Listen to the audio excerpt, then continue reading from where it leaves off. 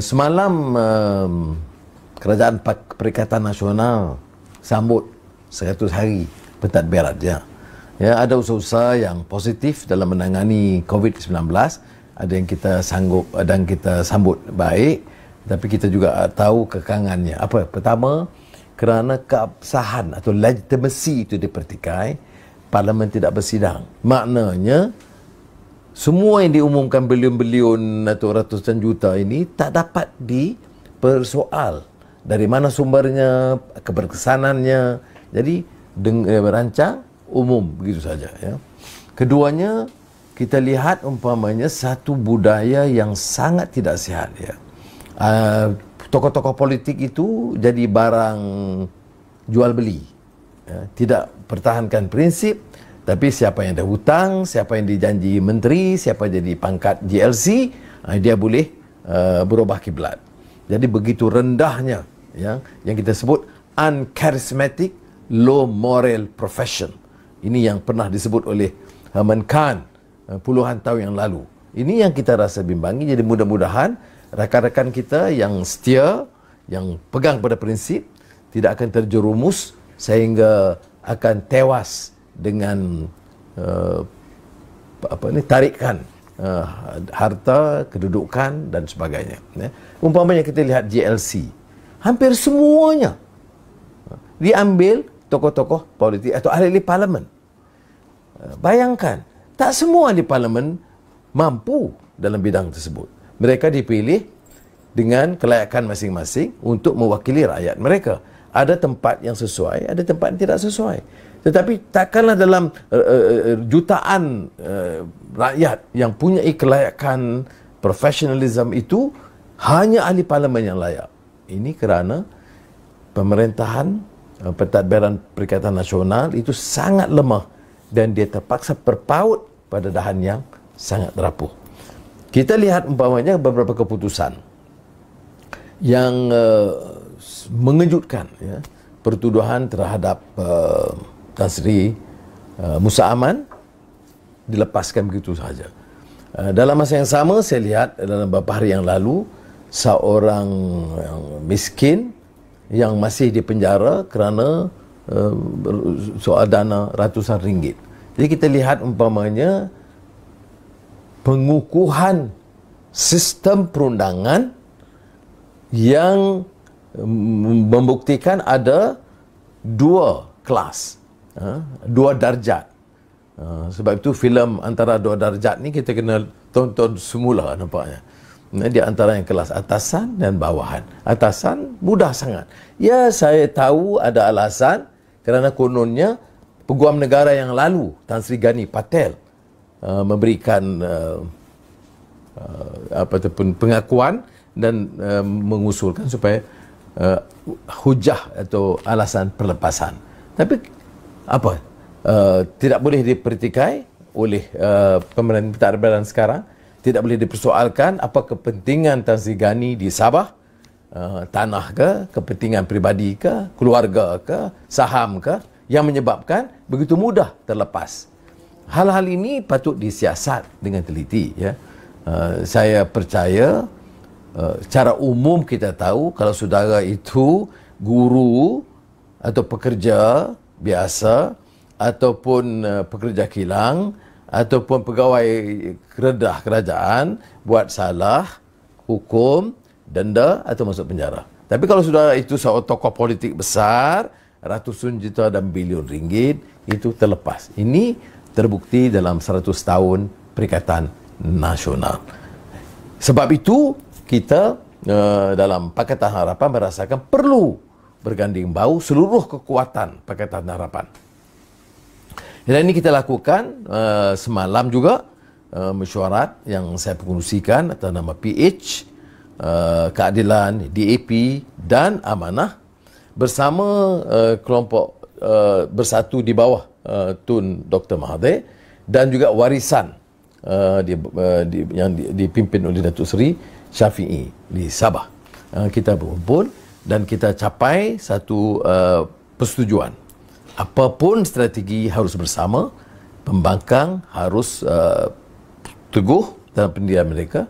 Sekarang ni 107 itu dalam kumpulan ini dan kita akan marah ke depan dalam satu pasukan untuk pastikan mandat rakyat dihormati dan kecelaruan, kebobrokan dan rasuah itu dihentikan. Kerajaan telah meneruskan usaha atau ikhtiar untuk menangani masalah uh, ekonomi pandemik ya kita sebut uh, sekarang ini pandemik ekonomi bukan ekonomi biasa ekonomi menangani permasalahan akibat dari keterbatasan uh, penutupan ruang uh, dan juga uh, kekangan uh, dengan peraturan-peraturan keterbatasan pembatasan COVID-19. Um, yang ini diumumkan sebagai penjana. Jadi um, sementara menyambut uh, usaha yang agak positif dalam hal, siapa kelemahan paling besar? Kita tidak boleh bahas. Inilah satu-satu negara di mana kita boleh bentangkan puluhan bilion, ratusan bilion tanpa uh, perbahasan dan uh, tanpa uh, peluang kepada ahli parlimen di pihak kerajaan dan di pihak pembangkang untuk mengutarakan pandangan, mempersoalkan dan memohon penjelasan berikut. Ya. Saya akan uh, ulas umpamanya dengan melihat beberapa rajah uh, sahaja untuk menunjukkan uh, beberapa uh, langkah uh, segera yang harus diambil oleh uh, kerajaan uh, bersama. Uh, saya mulakan dengan raja mengenai uh, pertumbuhan, unjuran pertumbuhan keluaran negara kasar. Kita lihat umpamanya kalau kita uh, penurunannya itu 2020 itu sangat ketara. Ya dan uh, dijangka uh, kalau ada yang disebut V shape growth dia akan melonjak naik segera itu jangkaan unjuran tetapi kalau kita lihat umpamanya kenyataan Singapura. Itu lebih realistik. Uh, dia beza. Angka ini unjuran harus realistik dan tidak propagandistik. Tidak propaganda. Uh, unjuran untuk uh, Singapura itu mungkin 8% ya kemelesetannya. Minus 8 maknanya negatif 8 jadi kita mengharapkan dia lonjakan. Sudah bayangkan sekarang ini bulan Jun. Belum buka lagi peluang. Belum ada rancangan yang jelas untuk meningkat jadi saya rasa wajar kita bahaskan apakah unjuran ini realistik atau munasabah kerana kalau kita buat unjuran yang tidak realistik keparahan uh, masalah itu akan dirasakan berikut. Yang pertama ialah masalah pengangguran. Apakah uh, langkah yang diambil ini uh, akan memberikan satu gambaran yang munasabah tentang pengangguran? Umpamanya kita lihat ya. Ini dalam beberapa bulan. Uh, sebaik uh, akhir Februari, Mac lonjakannya itu hampir 4%. Itu sekarang, ya. Dan 4% ni maknanya apa? 5% dianggap 900 ribu pekerja yang akan hilang pekerjaan. Kalau kita tengok angka ini, apakah mungkin dalam masa 2 bulan angka ini akan turun? Tak boleh sabar. Dia masih pertahan jumlah yang sekarang ini eh, dan juga kalaupun dia lebih kurang um, lonjakannya tetapi masih tinggi saya nak tekankan ini uh, kerana uh, beberapa hal. Dia bukan semuanya salah kerajaan. Jadi saya nak nak uh, jelaskan tetapi ekonomi pandemik ini adalah kerana uh, productivity uh, production itu terbantut. Kilang tutup. Uh, pengeluaran terbatas. Uh, ekspor terhad atau terbatas. Jadi bila production itu um, tersekat eh, dia lebih bertambah kerana selain daripada yang disebut disruption of supply chain ya uh, chain tetapi juga kerana penggunaan pengguna juga tidak akan uh, seperti biasa ya maknanya ada penekanan tentang um, keupayaan rakyat membeli seperti biasa. Ini kerana dasar kerajaan yang kita faham soal keselamatan dan juga kerana kebimbangan uh, rakyat dan pengangguran atau peluang pekerjaan terbatas jadi orang tidak berani berbelanja seperti mana yang biasa. Uh, berbalik kepada soal um, raja yang pertama tadi ya tentang uh, yang kata saya sebut kemungkinan kemelesetan berlaku ya kita lihat umpamanya kalau uh, di jangkaan kerajaan berapa yang kita belanjakan setakat ini sekitar 45 bilion yang benar dibelanjakan. Jangan kira diumumkan. Diumumkan itu soal bank, soal SOXO, KWSP. Itu tidak termasuk dalam perbelanjaan nyata. Tetapi ekonomi Malaysia ini ekonomi yang mencecah 1.6 triliun. Ya. Kalau dua bulan terbantut, 133 bilion. Jadi yang kita belanja 45 bilion itu tidak mungkin dapat membantu menampung keperluan atau kerugian 133 bilion. Dan saya nak sebut hal ini sebagai uh, perbandingan supaya rakyat umumnya tahu kesannya dan keperluan untuk membelanja dengan lebih uh, tinggi tetapi cukup berhemah dan tidak umpamanya mengambil peluang ini untuk merompak atau mengenepikan proses tender supaya kos yang patut 200 juta jadi 240 juta padahal orang susah pun nak makan dan nak hidup. Pengangguran, saya beritahu tadi, cecah 600 ribu. Apa yang dilakukan oleh pimpinan ialah rebut jawatan, rebut allowance, rebut tender. Dan ini yang harus kita teliti dan perhatikan.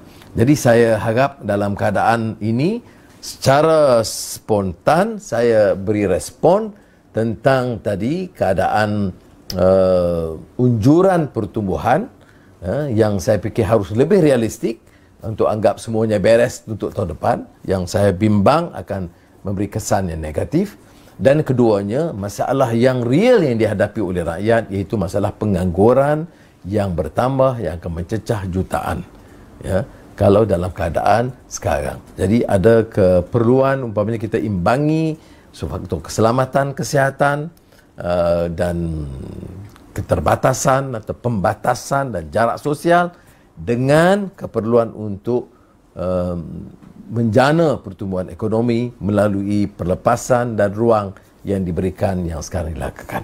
Eh, masalah pendidikan yang juga uh, terkesan dengan uh, COVID-19, pembatasan ataupun jarak sosial dan oleh demikian kita lihat uh, setelah beberapa bulan sekolah dan IPT ditutup. Hari ini Kementerian Pendidikan uh, dijangka mengumumkan uh, tarikh permulaan persekolahan tetapi uh, saya kira kalau sekolah boleh dimulakan, IPT patut disegerakan, didahulukan. Um, kalau ikut setakat cadangan yang juga menusabah online, tetapi kita tahu, tahu konektiviti dan lain-lain masih merupakan masalah. Ada juga uh, mahasiswa yang cadangkan sekurang-kurangnya dimulakan dengan uh, pelajar atau mahasiswa tahun akhir jadi daripada saya atau kawan-kawan beri pandangan, lebih baiklah kita kumpulkan wakil-wakil atau pemimpin mahasiswa uh, dari Semenanjung, Sabah dan Sarawak untuk berikan pandangan dan um, teguran atau nasihat mereka sendiri tentang permasalahan yang berlaku. Jadi saya mulakan dengan saudari Aqilah uh, Mahmud. Uh, kebetulan beliau juga pemimpin uh, pelajar dan mahasiswa, naik Presiden PKPIM, uh, kebangsaan pelajar Islam Malaysia dan uh, sekarang ini tahun akhir uh, ijazah sarjana muda pendidikan pengajaran Islam di Universiti Selangor UNISEL. Jadi akilah um, bagaimana pandangan tentang uh, kemungkinan dibuka uh, semula atau disegerakan pengajian IPT. Okay, um, Bismillahirrahmanirrahim. Assalamualaikum warahmatullahi wabarakatuh. Terima kasih saya ucapkan kepada um, Datuk Sri Anwar Ibrahim dan untuk peluang yang memberikan uh, ruang kepada mahasiswa khususnya kepada kami uh, pelajar tahun akhir ataupun yang pelajar tahun satu dan sebagainya untuk membahaskan isu yang berkait dengan mahasiswa sendiri. Jadi um, seperti mana yang kita maklum um, kita telah menerima satu kenyataan yang ditulis oleh uh, yang dikeluarkan oleh Kementerian Pengajian Tinggi ataupun KPT yang mengatakan bahawa kelas pengajian secara online akan diadakan sehingga 31 Disember 2020.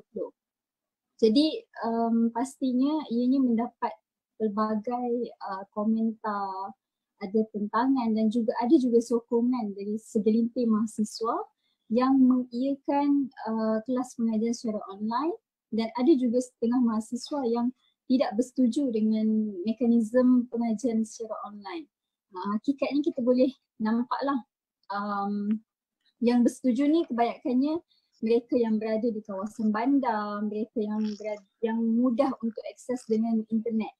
Namun berbeza dengan pelajar-pelajar yang berada di kawasan luar bandar ataupun di pedalaman, seperti saya berada di Tanjung Karang, uh, saya tak nafikan memang uh, akses kepada internet ataupun line kepada uh, internet sangat lambat dan um, kadang-kadang saya terpaksa keluar daripada Tanjung Karang untuk ke Kuala Selangor dan sebagainya ke pekan yang lebih besar untuk mendapatkan line semata-mata untuk menghadiri kelas secara atas talian ataupun uh, untuk melaksanakan tugas yang diberikan oleh pensyarah.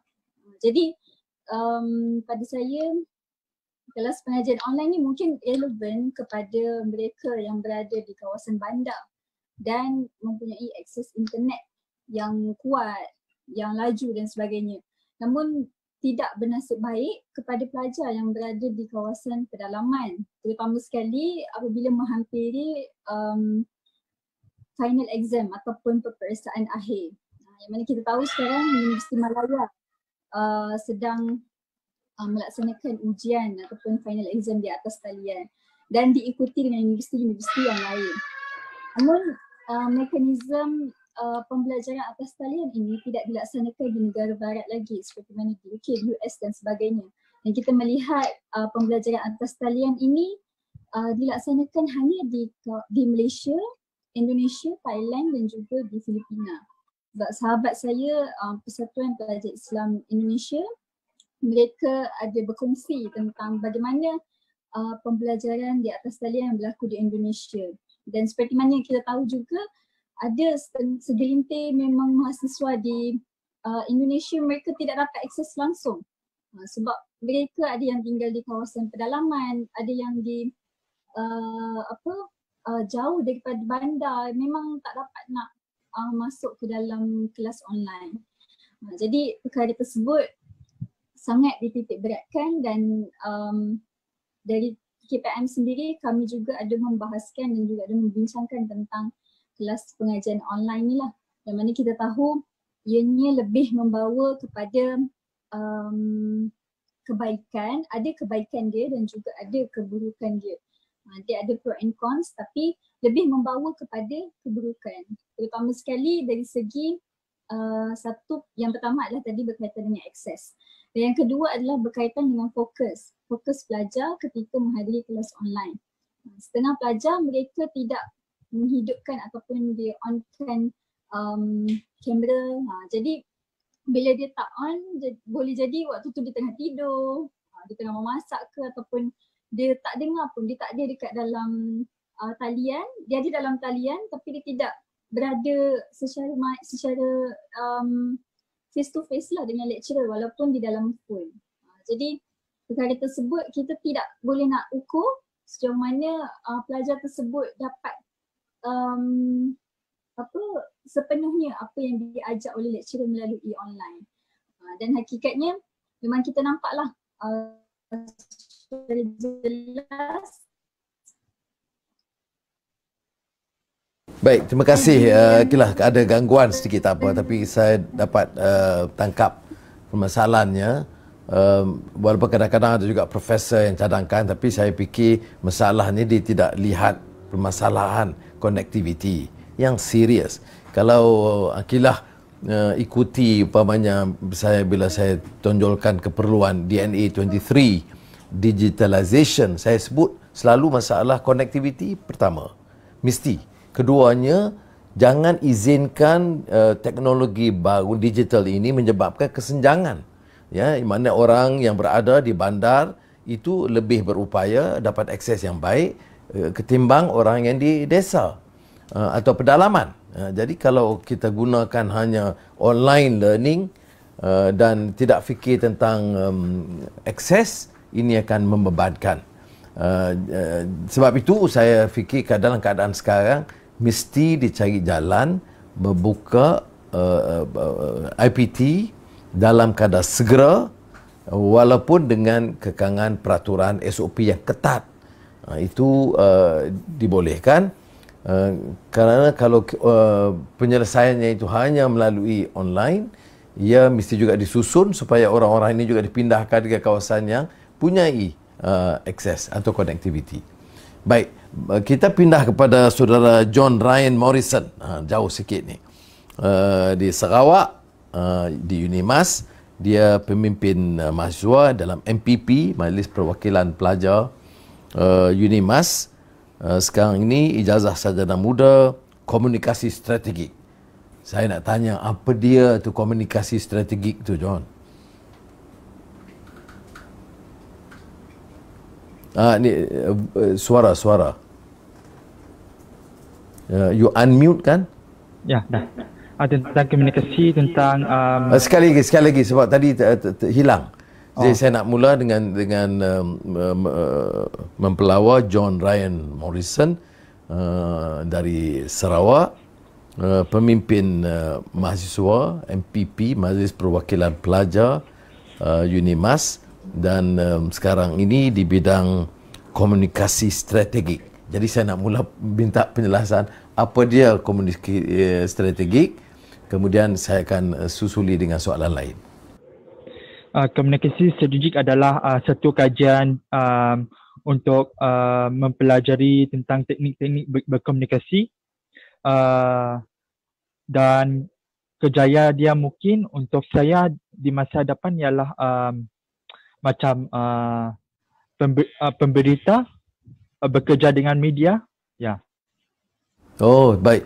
Kau tu boleh bantu saya besok tu. Hmm. terima kasih. Ya. Now saya nak tanya tentang permasalahan ini dihadapi oleh mahasiswa. Umpamanya dengan keadaan uh, sekarang. Kadar sewa sewa uh, ke, kebetulan. Kalau di uh, sekitar universiti membayar sewa apakah perlu diteruskan dalam keadaan universiti itu ditutup. Keduanya tentang hidup, sara hidup, makan, minum dan sebagainya. Saya nak tahu tentang masalah yang dihadapi oleh mahasiswa secara umumnya di Unimas itu. Um, sekarang uh, MPP telah uh, MPP Unimas telah um, um, menyuruh uh, pelajar uh, lain untuk tidak me, menyebarkan berita palsu pasal uh, yuran universiti kalau di, dikembalikan uh, sebab dia menunggu kenyataan rasmi dari Unimas sendiri. Hmm, oh ya, ya. Tapi ya. tapi maknanya perlu dibayar yuran atau sekarang ini ditangguh? Uh, tinggal menunggu kenyataan rasmi dari Unimas sendiri. Hmm. Ya. ya. Walaupun pandangan kita kalau universiti buka bayarlah kalau universiti tutup ya. kalau saya kalau saya bayar. pun saya pun belum bayar yuran kediaman lagi sejak PKP dilaksanakan hmm. dan sebenarnya kembali ke Unimas pada 23 Mac semasa oh, PKP ah Oh sekarang uh, ini maknanya tapi Unimas sudah maklum sudah uh, kembali ke universiti atau belum? Belum. Uh, belum sebab saya pelajar tahun satu. Pelajar tahun akhir uh, sudah dimaklumkan dalam wasip um, wasip rasmi universiti. Bila yang dimula di jadual uh, pembukaan untuk uh, tahun akhir? Uh, mungkin 1 Ogos. Hmm, itu lama ya. Ya. Saya lihat ya makna kita agak tahu hadapi risiko kesihatan ya.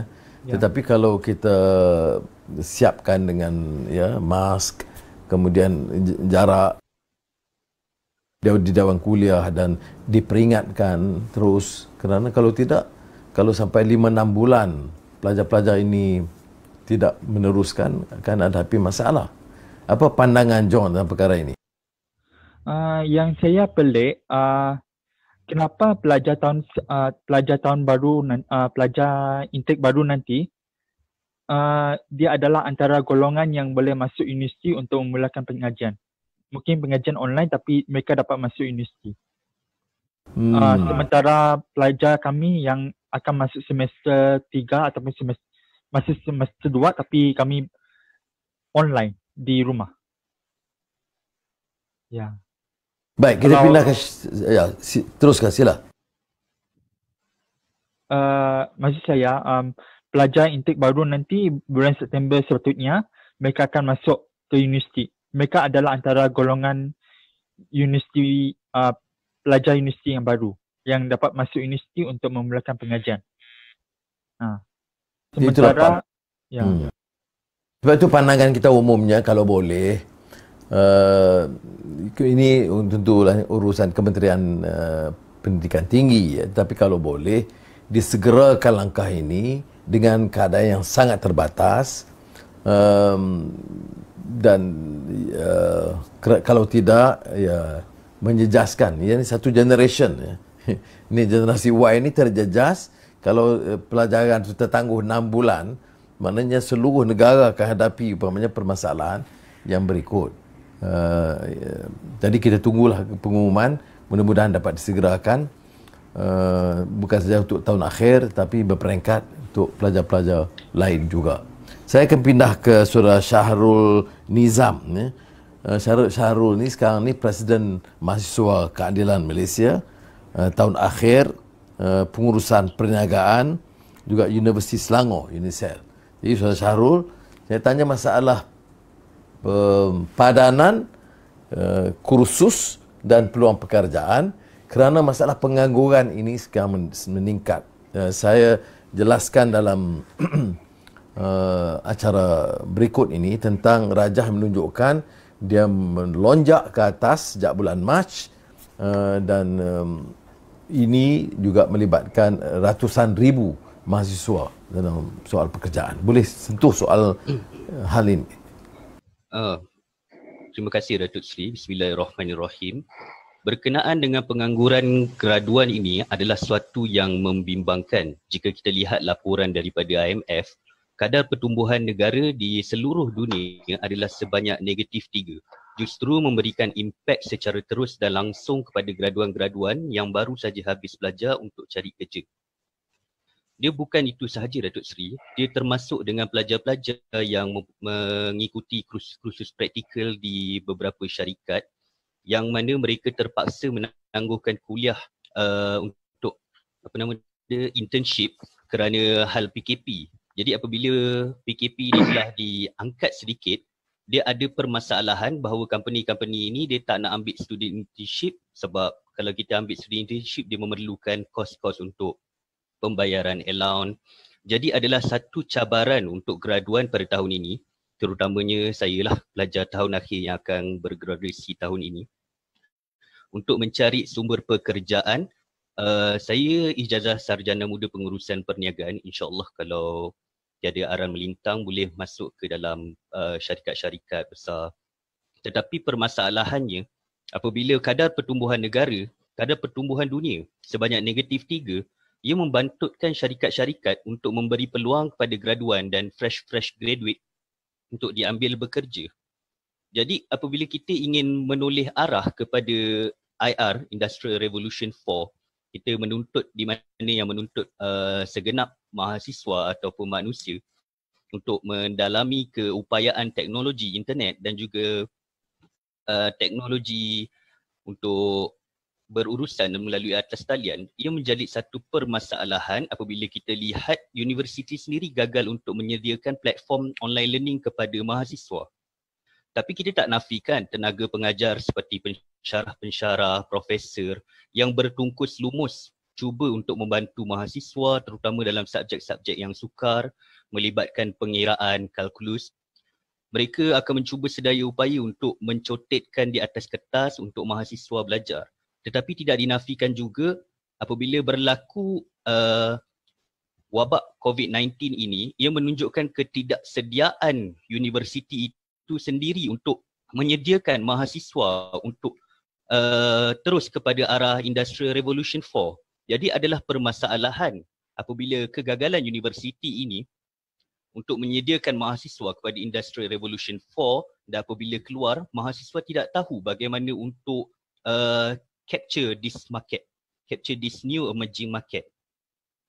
Oleh itu kami di Mahasiswa Keadilan kami menyedari bahawa permasalahan utama untuk mahasiswa-mahasiswa dan juga murid ialah melalui kelas-kelas online.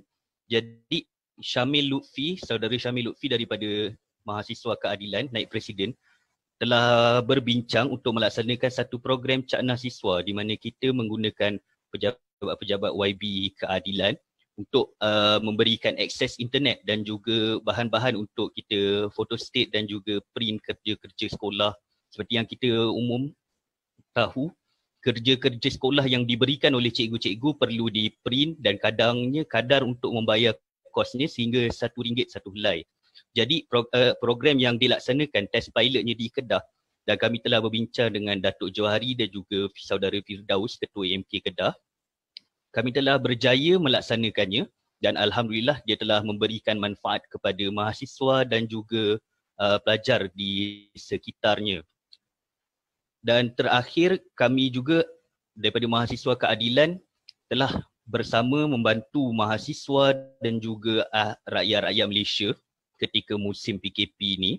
Kami telah laksanakan program-program uh, memberi bantuan di kepada mahasiswa-mahasiswa di setiap kampus dan pada awalnya ketika berlaku PKP dia terjadi masalah apabila pihak kementerian sendiri pun tidak tahu sama ada boleh duduk di universiti ataupun tidak. Itu yang jadi pelajar berkerumun di TBS tu.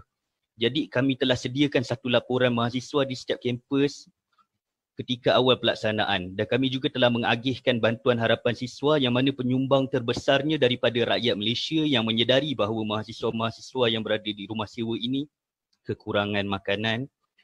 Jadi insya-Allah kami akan meneruskan usaha-usaha aktivisme ini untuk membantu masyarakat dan kami akan terus bersama dengan pimpinan-pimpinan mahasiswa, uh, pimpinan mahasiswa yang lain di setiap universiti untuk kita sama-sama uh, menyelesaikan permasalahan ini. Terima kasih.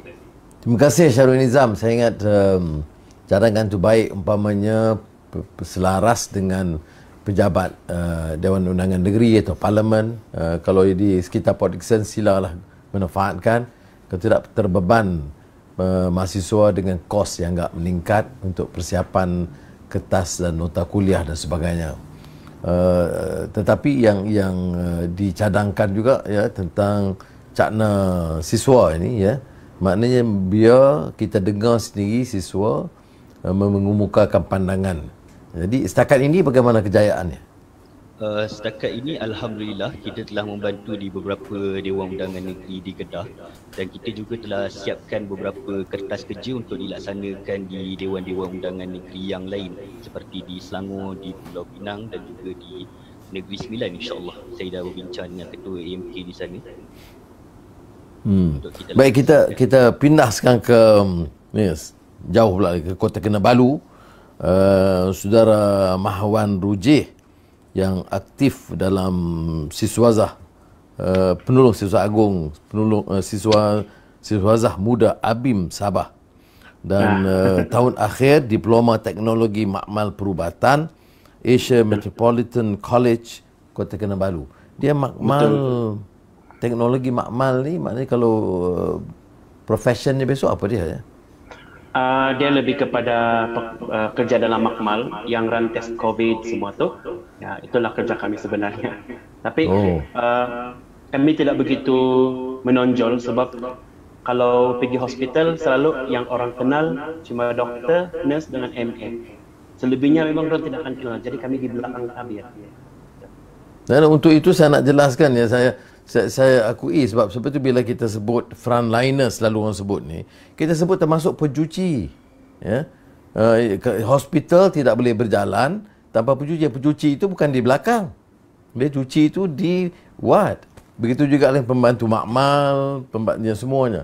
Jadi saya, saya ingat uh, betul uh, peringatan saudara Mahwan bahawa jangan kita uh, apa remehkan ya. Seolah beritahu satu doktor uh, nurses memang penting jururawat ya tetapi dia mesti dilihat secara menyeluruh. Bagaimana? Ya, pandangan. uh, betul lah. Sebab bukan bukan apalah, cuma kadang uh, yang saya tengok di grup Makmal sebenarnya orang agak kecil hati lah sebab yang selalu kena mention yang kena bagi penghargaan selalunya lah uh, nurse, doktor, tapi orang orang terlupa orang yang run orang yang run service tu, orang yang run test tu, yang kasih tahu result semua tu itu semuanya dari makmal sebenarnya. Kalau tidak makmal, actually benda kita tidak tahu. Contohlah, kalau dia ada satu penyakit sifilis, bagi kita bagi satu contoh. Dia ada simptom tapi doktor tidak tahu ini sifilis atau ini, penyakit yang lain. Jadi dia kena ambil dia kena hantar sampel pergi makmal juga. So bila sudah makmalan dan kasih kita sisa yang dia ni positif sifilis, then kita boleh kita boleh bagi tahu doktor iya pesakit ni dia positif untuk penyakit ni. Ah begitu. Tapi dalam masa yang sama uh, privacy untuk pesakit tu kena kasih tutup lah. Sebab kebanyakan orang sekarang adalah kebanyakan orang sekarang adalah kebanyakan orang sekarang orang tidak jaga privacy. Ada yang keluar saja daripada tempat-tempat yang contoh makmal begitu orang kasih cerita oh di kawan kau ada begini-begini sepatutnya even though kawan dia sekalipun dia pernah kasih tutup juga. Tapi nowadays banyak yang begitu, banyak yang kasih tahu yang oh si Abu ada begini, si Ali ada begini. Ya stop penyakitnya dan terkeluarlah semua begitu. Dan begitulah. Nah ini ter, ter, terkait dengan soal akhlak dan etika lah. dalam profesion manapun tanpa etika itu kadang-kadang ada pelanggaran ya. Uh, etika ni baik menterinya atau pensyarahnya, pelajarnya dan juga profession yang pelbagai. Saya setuju gesaan itu.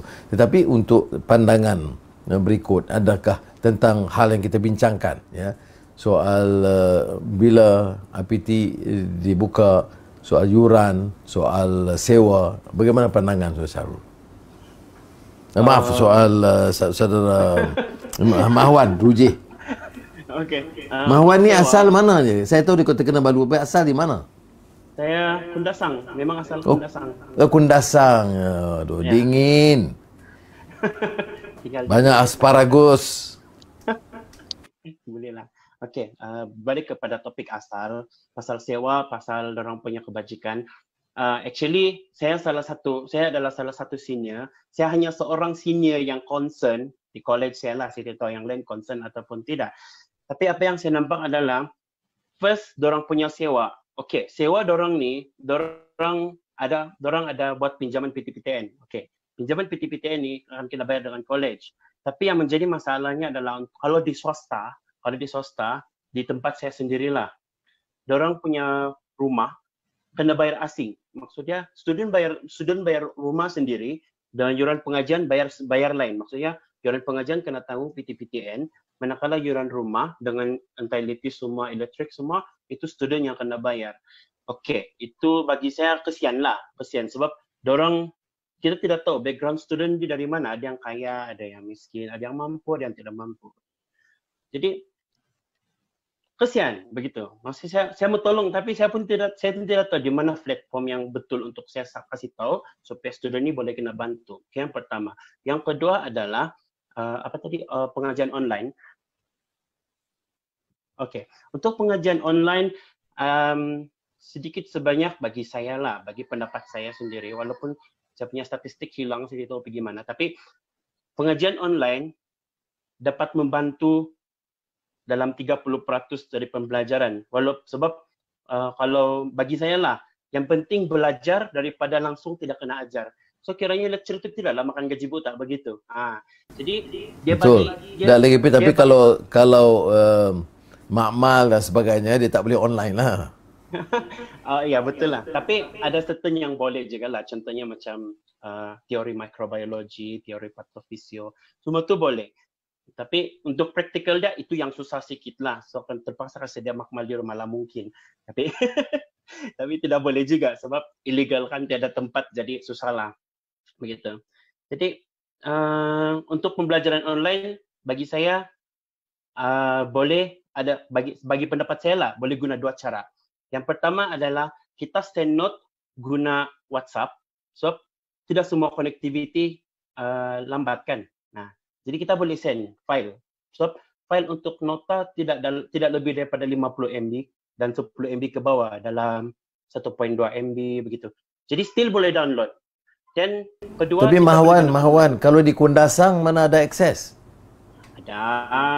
Kita boleh guna wireless. Ada wireless di sini. Tapi pandai-pandai cari tempat lah. Begitu. Ah, mana tidak? Ya, ya untuk tempat saya ni tempat saya ni alhamdulillah di belakang sana tu ada satu pencawang Maxis jadi alhamdulillah syukur masih juga masih juga connection laju walaupun selepas gempa bumi hari itu ada terkurang sedikit lain dia boleh lah still boleh lah dan apa lagi satu tadi tu ya tapi tak apalah terima kasih mana yang, yang kalau di KK okey lah. Di KK lebih baik lah macam kalau KK kucing akses tapi kalau pergi ke kapit pelajarnya itu di uh, Baram itu masalah. Begitu juga di Kundasang ke di uh, Kudat ke ya. Jadi tak sama aksesnya jadi walaupun boleh kita mulakan tetapi ada terbatas. Baik sebelum kita simpulkan ya kita akhiri boleh bagi sedikit uh, komen ringkas uh, kita mula dengan uh, Akilah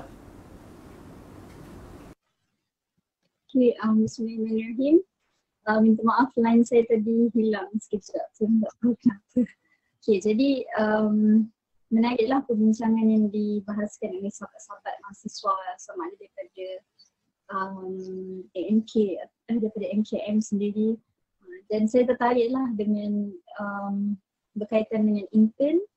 Uh, itu kalau di company, tapi kalau di sekolah, yang kena intern di sekolah seperti ambil jurusan pendidikan, memang uh, sampai sekarang kami masih menunggu panggilan untuk masuk ke uh, intern sebab kalau tak intern tak boleh nak combo. Uh, jadi maksudnya banyak uh, apa kekangan dan saya rasa kita perlukan SOP yang segera untuk pelajar-pelajar yang intern di sekolah dan juga di uh, company luar lah.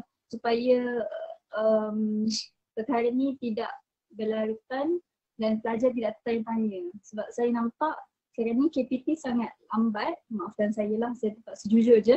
Ha, KPT sangat lambat mengeluarkan kenyataan. Bila student dah marah barulah uh, nak keluarkan kenyataan. Masa kita nampak lah isu pelajar tak balik ke kandas di kampus bila dah ramai yang bising di Twitter barulah uh, bergerak barulah keluar kenyataan dan bila ada isu student lapar dekat kampus tak dapat bantuan makanan barulah Okay, bismillahirrahmanirrahim.